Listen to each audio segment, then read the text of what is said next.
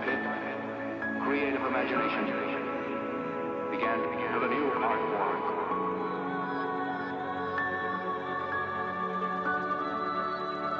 Makes me feel I belong to.